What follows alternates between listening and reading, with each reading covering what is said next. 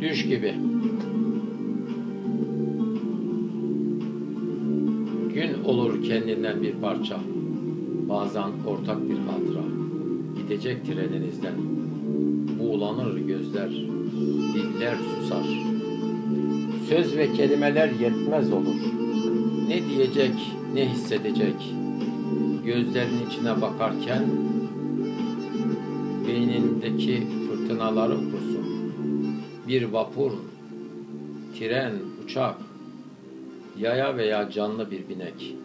Birazdan el sıkılacak, sarılacak. Eller sallanır ırayana kadar.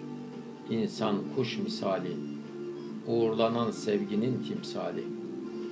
Bir gün kavuşmak belki dönülür hayata düş gibi sanki. Esenboğa, Ankara 1995